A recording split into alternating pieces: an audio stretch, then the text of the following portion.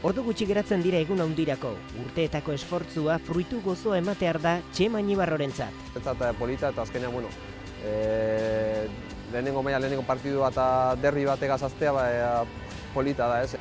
Urte mordo ipuruan talde armagineko koloreak defendatzen. Garai gogorren ostean lan eginez gozatzeko unea, primerakoa da txema. E, hau nire zazpigarren urtea da Ibarren, ame- ameteta, ametetan iten hauen e, txikiten eta lehenengo mailan jokatzeko, ez? Akzio ekarri bosku lana da eta, bueno, humiltasuna talde bezala eta, bueno, aber, e, aber zelan duan urtea.